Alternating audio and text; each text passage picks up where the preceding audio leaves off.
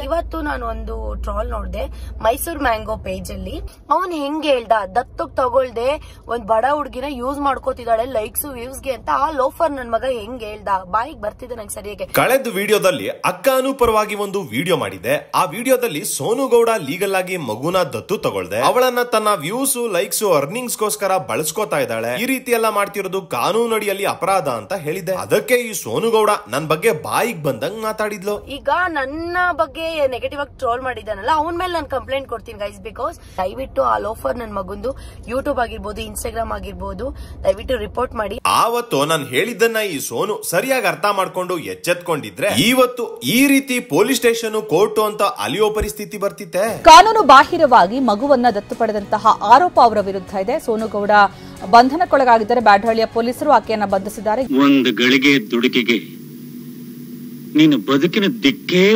ಬದಲಾಗೋಯ್ತಲ್ಲಮ್ಮ. ಇನ್ನು ಈ ಸೋನುಗೌಡ ಆ ಹುಡುಗಿನ ಮನೆ ಕರ್ಕೊಂಡ್ಬಂದು ಒಂದ್ ತಿಂಗಳು ಮೇಲಾಗಿದೆ. ಒಂದು ತಿಂಗಳಿಂದಾನು ಸತತ ಸೇವಂತಿನ ಬಳಸ್ಕೊಂಡು ವಿಡಿಯೋ ಮಾಡ್ತಾನೆ ಇದ್ಲು. ನಾನು ಕಂಟೆಂಟ್ ಗೋಸ್ಕರ ವಿಡಿಯೋ ಮಾಡ್ಬೇಕು ಅನ್ನೋ ಹಂಗಿದ್ರೆ ಆಗ್ಲೇ ಮಾಡ್ಬೋದಿತ್ತು. ನಾನ್ ಮಾಡ್ಲಿಲ್ಲ. ಏನೋ ಒಳ್ಳೆ ಕೆಲಸ ಮಾಡ್ತಿದ್ದಾಳೆ, ಮಾಡ್ಲಿ ಅಂತ ಸುಮ್ನೆ ಇದ್ದೆ. ಆದ್ರೆ ಅತಿ ಆದ್ರೆ ಅಮೃತಾನು ವಿಷ ಅನ್ನೋ ಹಾಗೆ ಏಳು ಸಬ್ಸ್ಕ್ರೈಬರ್ಸ್ಗಳು ಅಕ್ಕ ಸೇವಂತಿಗೆ ಹೇರ್ ಸ್ಟೈಲ್ ಮಾಡಿ, ಅಕ್ಕ ಅವಳಿಗೆ ಮೇಕಪ್ ಮಾಡಿ, ಅಕ್ಕ ಅವಳನ್ನ ದತ್ತು ತಗೊಳ್ಳಲ್ಲ ಅಂತ ಪ್ರ್ಯಾಂಕ್ ಮಾಡಿ ಸೇವಂತಿ ಕೈಲಿ ಅಡುಗೆ ಮಾಡಿಸಿ ಅಂತ ತಮ್ಮ ಡಿಮ್ಯಾಂಡ್ಸ್ ಗಳನ್ನ ಇಡೋದು. ಈ ಸೋನು ತನ್ನ ಸಬ್ಸ್ಕ್ರೈಬರ್ಸ್ಗಳು ಹೇಳಿದ್ದನ್ನೆಲ್ಲ ಸೇವಂತಿ ಮೇಲೆ ಪ್ರಯೋಗ ಮಾಡೋದು. ಅಯ್ಯೋ ಏನ್ ಜನಗಳೇನೋ. ಇವ್ರಿಗ್ ಬೇಕ್ ಬೇಕಾದಂಗ್ ಬಳಸ್ಕೊಂಡು ಕಂಟೆಂಟ್ ಮಾಡೋಕೆ ಆ ಹುಡುಗಿ ಏನ್ ಆಟದ ವಸ್ತುನ ಅಂತ. ಮತ್ತೆ ಇವಳು ಏನ್ ಗೊತ್ತಾ ಗೈಸ್ ಇವಳು ಅವ್ರ ಊರಲ್ಲಿ ಸೆಕೆಂಡ್ ಸ್ಟ್ಯಾಂಡರ್ಡ್ ಓದ್ತಾ ಇದ್ಲ ಆಯ್ತಾ? ನಾನು ತೋರಿಸ್ತೀನಿ ಇಷ್ಟ ಎಲ್ಲ ಹೆಂಗ್ ಬಂತು ಅಂತ.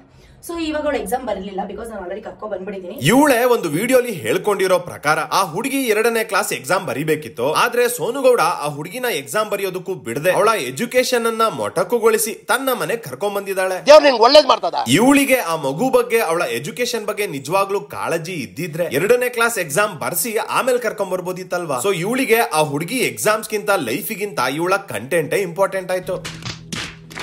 ಹೊಡಿಬೇಡಿ, ಗದ್ರಬೇಡಿ ಅದ್ ಮಾಡ್ಬೇಡಿ ನಿಮ್ಗೆ ಯಾವ ರೈಟ್ಸ್ ಇಲ್ಲ ಅಂತ ಗುರು, ನಾನು ಅವ್ರನ್ನ ಅಡಾಪ್ಟ್ ಮಾಡ್ಕೊತಾ ಇದೀನಿ ಮಾಡ್ಕೊತಾ ಇದೀನಲ್ಲ ಆಲ್ರೆಡಿ ಮಾಡ್ಕೊಂಡಿದೀನಿ ಹೊಡಿಯೋ ರೈಟ್ಸ್ ಇಲ್ಲ ಅಂತ ಯಾವನು ಹೇಳೋ ನಿಮಗ್ ರೈಟ್ಸ್ ಇಲ್ಲ ನನಗೆ ಹೊಡಿಬೇಡಿ ಅಂತ. ಇನ್ನು ತುಂಬಾ ವಿಡಿಯೋಸ್ಗಳಲ್ಲಿ ಸೋನು ಗೌಡ ಆ ಚಿಕ್ಕ ಹುಡುಗಿನ ಆಲ್ರೆಡಿ ಅಡಾಪ್ಟ್ ಮಾಡ್ಕೊಂಡಿದೀನಿ ಅಂತ ಸುಳ್ಳು ಹೇಳಿದಾಳೆ. ಆದ್ರೆ ಅಧಿಕಾರಿಗಳು ಪರಿಶೀಲನೆ ನಡೆಸಿದಾಗ ಇವಳು ದತ್ತು ತಗೊಳ್ಳೋ ಯಾವುದೇ ಲೀಗಲ್ ಪ್ರೊಸೆಸ್ ಅನ್ನ ಫಾಲೋ ಮಾಡಿಲ್ಲ ಅಂತ ಗೊತ್ತಾಗಿದೆ. ಇಲ್ಲಿಗಲ್ ಅಡಾಪ್ಷನ್ ಆಗಿದೆ ಇಲ್ಲಿ. ಕಾರಾ ಪೋರ್ಟಲ್ನಲ್ಲಿ ಅವ್ರು ಅಪ್ಲೋಡ್ ಮಾಡಿಲ್ಲ ಸಾರಾ ಪೋರ್ಟಲ್ನಲ್ಲಿ ಅಪ್ಲೋಡ್ ಮಾಡಿಲ್ಲ. As per the J J act seventy five ಪ್ರಕಾರ ಸೆವೆಂಟಿ ಫೋರ್ ಪ್ರಕಾರ ಮಗುನ ಡಿಸ್ಕ್ಲೋಸ್ ಮಾಡಬಾರ್ದು ಅದು ಇಲ್ಲಿಗಲ್ ಆಕ್ಟಿವಿಟೀಸ್ ಸೊ ಆ ಮಗುನ ಡಿಸ್ಕ್ಲೋಸ್ ಮಾಡಿರೋದ್ರಿಂದ ನಾವೇ ಆಕ್ಷನ್ನ ತಗೊಂಡಿದೀವಿ. ಸೊ ಎಫ್ ಐ ಆರ್ನ ಲಾಡ್ಜ್ ಮಾಡಿದೀವಿ. ಇನ್ನು ದತ್ತು ಪಡೆಯೋ ಪ್ರಕ್ರಿಯೆ ಎಷ್ಟು ದೊಡ್ಡದಾಗಿದೆ ಅಂದ್ರೆ ಮೊದಲು ಮಗುವಿನ ತಂದೆ ತಾಯಿ ತಮ್ಮ ಮಗುನ ತಮಗೆ ಯಾಕೆ ಸಾಕ್ಲಿಕ್ಕಾಗ್ತಿಲ್ಲ ಅನ್ನೋ ಸೂಕ್ತ ಕಾರಣಗಳನ್ನ ಕೊಟ್ಟು ಆ ಮಗುವನ್ನ ಫ್ರೀ ಫಾರ್ ಅಡಾಪ್ಷನ್ ಅಂದ್ರೆ ದತ್ತು ತಗೊಳ್ಳಿಕ್ಕೆ ಕೊಡ್ತಾ ಇದ್ದೀವಿ ಅಂತ ಕಾನೂನಿನ ಅಡಿಯಲ್ಲಿ ಸರೆಂಡರ್ ಮಾಡಬೇಕು. ಅದಾದ ನಂತರ ದತ್ತು ಪಡೆಯೋಕೆ ಇಚ್ಛೆ ಪಡೆಯೋರು ಕಾರ ಅಂದ್ರೆ ಸೆಂಟ್ರಲ್ ಅಡಾಪ್ಷನ್ ರಿಸೋರ್ಸ್ ಅಥಾರಿಟಿ ಅಥವಾ ಸಾರಾ. ಸ್ಟೇಟ್ ಅಡಾಪ್ಷನ್ ರಿಸೋರ್ಸ್ ಅಥಾರಿಟಿಗೆ ರಿಜಿಸ್ಟರ್ ಆಗಬೇಕು. ಅದಾದ ನಂತರ ದತ್ತು ಪಡೆಯುವಂತ ವ್ಯಕ್ತಿಗೂ ಮಗುವಿಗೂ ವಯಸ್ಸಿನ ಅಂತರ ಎಷ್ಟಿದೆ? ದತ್ತು ಪಡೆಯೋ ವ್ಯಕ್ತಿಯ ಸೋರ್ಸ್ ಆಫ್ ಅರ್ನಿಂಗ್ ಏನು? ಸಂಪಾದನೆ ಎಷ್ಟಿದೆ? ಇವರಿಗೆ ಮಗುವನ್ನ ವರ್ಷಾನುಗಟ್ಲೆ ಸಾಕೋ ಅರ್ಹತೆ ಇದೆಯಾ? ಯಾವ ಉದ್ದೇಶಕ್ಕೆ ದತ್ತು ಪಡಿತಿದ್ದಾರೆ? ದತ್ತು ಪಡೆಯುವವರ ದೈಹಿಕ ಹಾಗೂ ಮಾನಸಿಕ ಸ್ಥಿತಿ ಹೇಗಿದೆ? ಇವರ ಹಿನ್ನೆಲೆ ಹೇಗಿತ್ತು? ಇವರ ಚಾರಿತ್ರ್ಯ ಹೇಗಿದೆ? ಇದೆಲ್ಲ ಪರಿಶೀಲನೆ ನಡೆಸಿ ಅಧಿಕಾರಿಗಳು ಇದ್ರ ಬಗ್ಗೆ ಒಂದು ಕಂಪ್ಲೀಟ್ ರಿಪೋರ್ಟ್ ಅನ್ನ ದೆಹಲಿ ಹೆಡ್ ಆಫೀಸ್ ಕಳಿಸ್ತಾರೆ. ಅಲ್ಲಿ ಇದು ಅಪ್ರೂವ್ ಆದ ಬಳಿಕಾನೆ ಅವರು ಒಂದು ಮಗುವನ್ನ ದತ್ತು ಪಡಿಲಿಕ್ಕೆ ಪರ್ಮಿಷನ್ ಸಿಗೋದು. ಸೊ ಈ ಸಿ ಸೊ ಇಷ್ಟೆಲ್ಲಾ ಪ್ರೊಸೀಜರ್ಸ್ ಇರೋವಾಗ ಬೀದಿಲ್ ಹೋಗ್ತಿರೋ ಯಾವ್ದೋ ಮಗು ಇಷ್ಟ ಆಯ್ತು ಅಂತ ಮನೆ ಕರ್ಕೊಂಬಂದು ನಿಮ್ಗೆ ಇಷ್ಟ ಬಂದಂಗೆ ಬಳಸ್ಕೊಂಡ್ರೆ ಕಾನೂನು ನಿಮ್ಮನ್ನ ಸುಮ್ನೆ ಬಿಡುತ್ತೆ ಇಲ್ಲ ಸರ್ ಇಲ್ಲ. ಇಲ್ಲ ಅಲ್ಲ?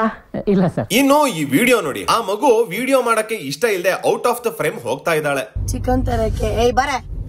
ಚಿಕನ್ ತರಕ್ಕೆ ಅಂತ ಹೋಗ್ತಾ ಇದೀವಿ. ಸೊ ಆ ಪುಟ್ಟ ಹುಡುಗಿನ ಮಗು ತರ ಇರೋಕ್ ಬಿಡದೆ. ಕಂಟೆಂಟ್ ಗೋಸ್ಕರ ಫೋರ್ಸ್ಫುಲಿ ವಿಡಿಯೋ ಮಾಡಿಸ್ತಿರೋದು ತಪ್ಪಲ್ವಾ? ಅದನ್ನ ಹೇಗೆ ಮಗು ಕೈಯಲ್ಲಿ ನೀವು ಲೈಕ್ ಮಾಡಿ ಸಬ್ಸ್ಕ್ರೈಬ್ ಮಾಡಿ ನಿಮ್ಮ ಉದ್ದಾರಕ್ಕೋಸ್ಕರ ಮಗುನ ಯೂಸ್ ಮಾಡ್ಕೊಳಕ್ ಹೋಗ್ಬೇಡಿ. ಇನ್ನು ಇದನ್ನ ನೋಡಿ. ಇದನ್ನೆಲ್ಲ ಅವನ ಜೊತೆ ಇರಕ್ಕೆ ಇಷ್ಟ ಇಲ್ಲ ನಾನು ಅಣ್ಣ ಏನ್ ಮಾಡ್ತೇನೆ ಹೇಳು ನಿನಗೆ ಪಾಪ? ಹೊಡಿತೇನೆ. ಏನಿಗೆ ಹೊಡಿಯುತ್ತೆ ಹೇಳು? ಅವಳನ್ನ ಮನೆ ಕರ್ಕೊಂಡು ಹೋಗಿರೋದೇ ಅಪರಾಧ. ಅಂತದ್ರಲ್ಲಿ ಆ ಪುಟ್ಟ ಹುಡುಗಿ ಮೇಲೆ ಅವ್ನ್ ಯಾರೋ ಕೈ ಮಾಡಿದಾನೆ ಅಂತ ಹೇಳಿದ್ರೆ ಅದು ಇನ್ನೂ ದೊಡ್ಡ ಅಪರಾಧ. ಎಚ್ಚರಿಕೆ.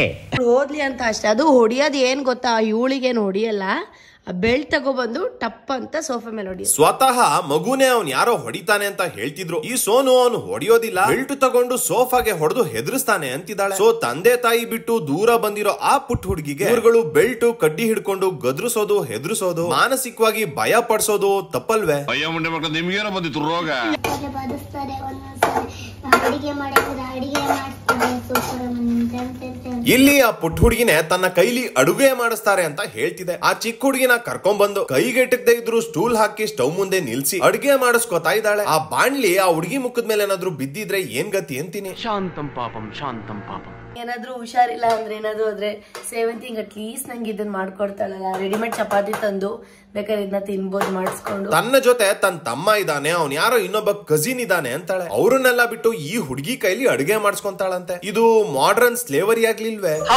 ಇದಿಷ್ಟೇ ಅಲ್ಲ ಇದೇ ರೀತಿ ತುಂಬಾ ವಿಡಿಯೋಸ್ಗಳಲ್ಲಿ ಆ ಹುಡುಗಿನ ಅದು ತಕೊಂಬ ಇದು ತಕೊಂಬ ಅದು ಮಾಡು ಇದು ಮಾಡು ಅಂತ ತನ್ನ ರೀಲ್ಸ್ ಮಾಡ್ಲಿಕ್ಕೆ ತನ್ನ ದೈನಂದಿನ ಚಟುವಟಿಕೆಗಳಿಗೆ ಕೆಲಸಗಳಿಗೆ ಬಳಸ್ಕೊಂಡಿದ್ದಾಳೆ. ಇದು ಕೂಡ ಮಾಡರ್ನ್ ಸ್ಲೇವರಿ ಅಲ್ಲದೆ ಇನ್ನೇನು ಅಂತೀನಿ? ಏನು ಉತ್ತರ ಕೊಡ್ತೀಯ ಇದಕ್ಕೆ? ಹೇಳು ಒಂಚೂರು.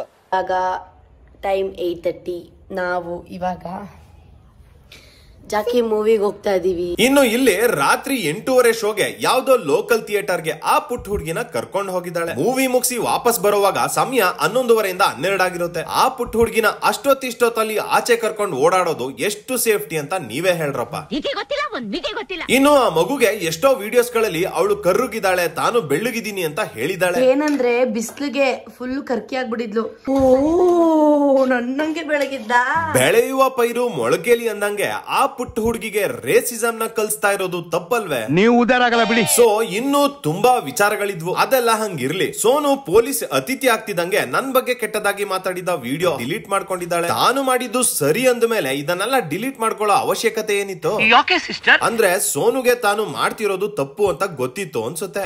ಇದು ಕರೆಕ್ಟ್ ಸರ್ ಇನ್ನು ಒಂದಿಬ್ರು ಸೋನು ವಿರುದ್ಧ ಕ್ರಮ ಕೈಗೊಂಡ ಅಧಿಕಾರಿಗಳ ಬಗ್ಗೆ ಕೆಲವೊಂದು ಕಮೆಂಟ್ಸ್ ಹಾಕಿದ್ದಾರೆ. ಸೌಜನ್ಯ ಪ್ರಕರಣ ನಡೆಯುವಾಗ ನೀವ್ ಎಲ್ಲಿದ್ರಿ ಸೌಜನ್ಯ ಬಗ್ಗೆ ಮಾತಾಡೋಕೆ ತಾಕತ್ತಿರ್ಲಿಲ್ವಾ ಪ್ರಚಾರಕ್ಕೋಸ್ಕರ ಇದನ್ನೆಲ್ಲ ಮಾಡ್ತಿದ್ದೀರಿ ಅಂತ. ಯಾರ ಮಕ್ಕಳಪ್ಪ ನೀವೆಲ್ಲ? ಸೌಜನ್ಯ ಪ್ರಕರಣದ ಬಗ್ಗೆ ಎಲ್ರಿಗೂ ಬೇಸರ ಅನುಕಂಪ ಇದೆ. ನ್ಯಾಯ ಸಿಗ್ತಿಲ್ವಲ್ಲ ಅನ್ನೋ ಕೊರಗೂ ಇದೆ. ಹಂಗಂದು ಮಾತ್ರಕ್ಕೆ ಸಮಾಜದಲ್ಲಿ ಸೌಜನ್ಯ ಪ್ರಕರಣದ ಬಗ್ಗೆ ಮಾತಾಡದೇ ಇರೋ ವ್ಯಕ್ತಿಗೆ ಇನ್ ಯಾವ ಪ್ರಕರಣದ ಬಗ್ಗೆನೂ ಮಾತಾಡೋ ಅರ್ಹತೆ ಇಲ್ಲ ಅಂತ ಹೇಳೋದು ಮೂರ್ಖತನ ಆಗತ್ತೆ.